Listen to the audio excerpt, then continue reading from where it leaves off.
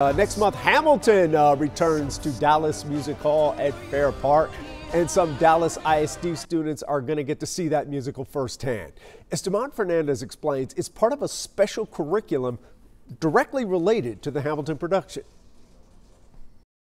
They say all the world's a stage and all the men and women merely players. But when it comes to that hit musical Hamilton, those tickets sure have been hard to come by. I'm past patiently waiting. I'm past. And a chance that those hot Hamilton tickets are becoming a reality for a large group of Dallas ISD students. Isn't it nice to be back in the theater again? As live theater gets back into full swing, staff at Dallas Summer Musicals is announcing a special opportunity when the Hamilton Tour hits Dallas's Music Hall at Fair Park mid November, where the arts meets education.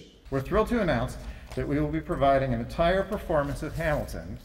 Yes, that's all 3,400 seats that you see back there. As the curtain goes up, 3,400 students and teachers from 25 Dallas ISD high schools will get a chance to dive into a specially created curriculum that relates to the Hamilton production. That program not only provides training and career prep centered around the arts, there's a heavy focus on STEAM or science, technology, engineering, arts, and math integration. Some I'm thinking past tomorrow.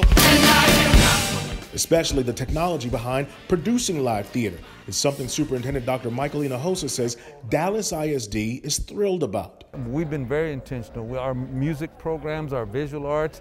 Now we have a lot of schools that are specializing in the arts, and this gets students motivated. Several partners committed to STEAM are making this special program possible. Frito Lay and the TD Jakes Foundation are among them.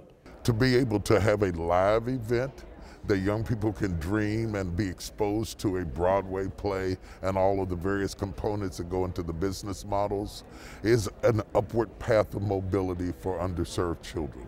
The education program ends with the Dallas ISD group packing the theater for a full production of Hamilton before the show's run in Dallas ends December 5th.